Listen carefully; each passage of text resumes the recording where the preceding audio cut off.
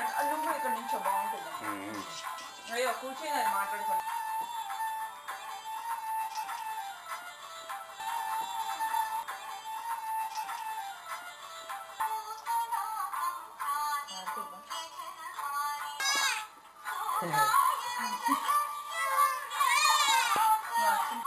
ఉమ్.